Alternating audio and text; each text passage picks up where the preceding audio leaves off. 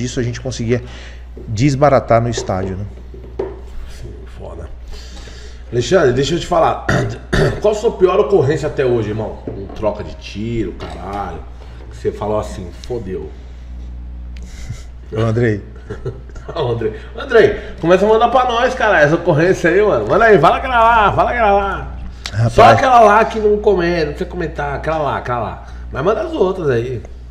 rapaz, eu. Uma vez, né?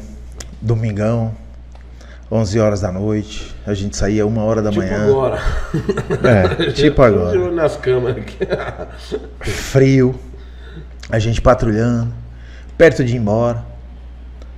De repente o Copom fala, tenta a rede, uma moto produto de roubo, se evadindo das viaturas pela avenida XYB. Troca de tiro, atiraram na Rocan do 4 batalhão, Nossa. evadindo a nossa área. Aí a gente, caramba, Do meu microfone?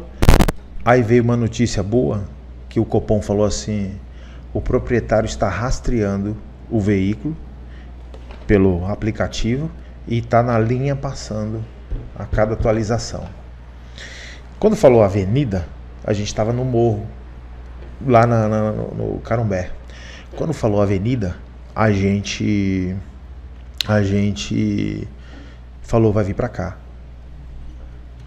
O pinote acabou, os policiais perderam, mas o dono começou a atualizar. Quando falou o nome de uma rua que atualizou, a gente estava umas quatro ruas para cima dessa rua. E essa rua que eles estavam tinha duas ruas que subiam para a rua onde nós estávamos. E nós falamos, é nosso, vai cair no nosso colo. Dito e feito, mano. O negócio veio aqui, ó, na nossa frente. Dois moleque. A hora que a gente acendeu os farolzão, ele não sabia identificar que era uma viatura. Eles entraram numa rua, a gente entrou na cola. A hora que entrou na cola, que deu aquele acelerão, o moleque que estava na garupa olhou para trás. A hora que ele viu que era uma viatura, ele sacou e começou a atirar. A gente não. Em tese, o policial não pode atirar em movimento, né? Tem uma proibição legal que não pode. Isso viola, logicamente, o direito à sua legítima defesa. Mas a, gen- a rua era muito curta. Quando esse moleque começou a atirar na gente, o, o cara que estava dirigindo a moto, ele foi, parou a moto. Esse moleque desceu, atirando, entrou numa viela. A gente, aí nessa hora a gente conseguiu parar, que foi o tempo que eles pararam também. A gente trocou tiro, conseguiu balear um deles. E nós fomos para socorremos bonitinho, tal, delegacia de HPP. E aí o moleque tinha 15 anos. Esse moleque que tava tocando a moto, ladrão, 15 anos. E aí veio toda uma pressão em cima da gente, né, cara? Cara, o moleque tinha 15 anos. Moleque de 15 anos troca tiro com a polícia. E veio toda uma pressão sobre nós. Lógico que troca tiro. O cara rouba. O cara mete o cano. Mata, cara. Dois caras, o cara mata. E a gente foi fazer o, o PROA, né?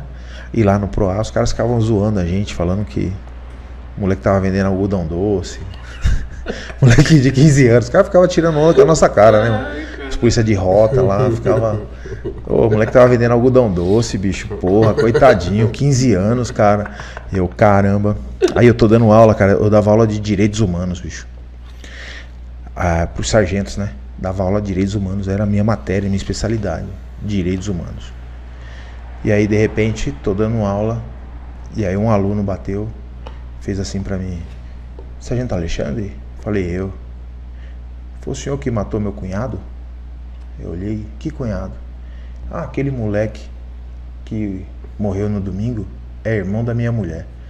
Eu olhei pro cara assim, falei, puta que o pariu, bicho. Você tá brincando, cara? Ele falou, é, irmão da minha mulher. Mas não esquenta a cabeça não, ele era ladrão.